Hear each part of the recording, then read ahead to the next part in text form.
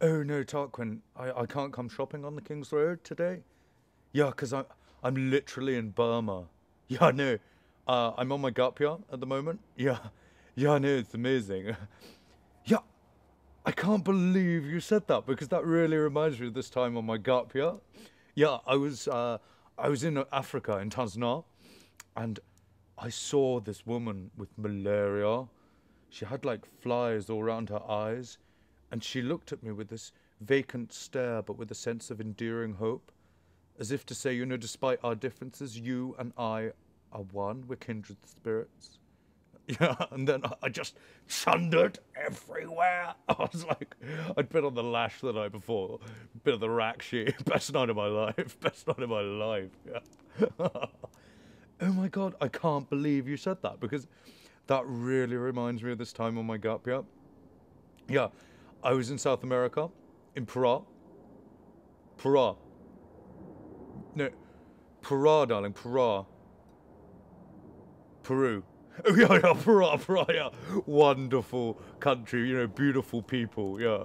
Um, yeah, no, uh, we were trekking in the Andes, and the sun was just rising and glinting off the snow, creating this sort of ethereal haze, and I really got a sense of the awesome power of nature and the insignificance of man. You know, and then I just chundered everywhere. I was like, all over the snow. I was like, have that nature, 1 nil. yeah. Made, made a little volcano, all the little chunklets froze.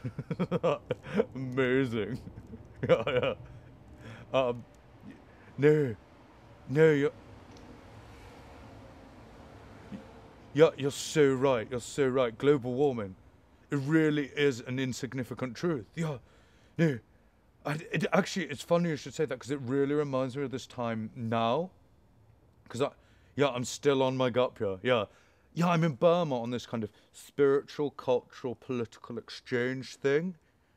Yeah, yeah. Well, uh, um, I'm kind of in, kind of in prison. Yeah, yeah it turns out they're quite hot on you bringing naughty salt into the country. And yeah, uh, I, yeah, no, it's so spiritual and political and cultural, but it's also kind of brutal and demeaning. I mean, there's not much food, and I don't really know what anyone's saying. And the other day, the guards took me out at gunpoint into into the square and and then I just chundered everywhere. Yeah, we'd been on the lash the night before in the prison, bit of the, bit of the supplies. Yeah, I was like, oh, banter. yeah, amazing. just like Fulham. yeah.